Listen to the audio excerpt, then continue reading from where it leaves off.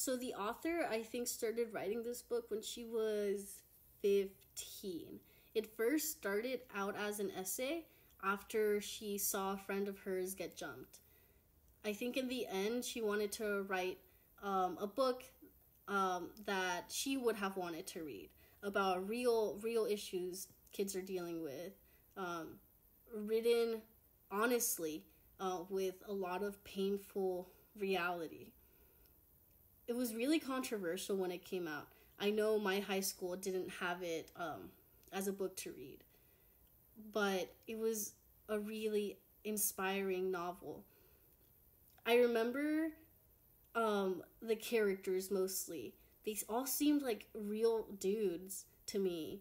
Um, like, like it actually like broke my heart for the Curtis brothers, who um, or like Darry, who had to give up his college scholarship so he could keep his brothers together. It was really tragic, um, but also at the same time, uh, uplifting.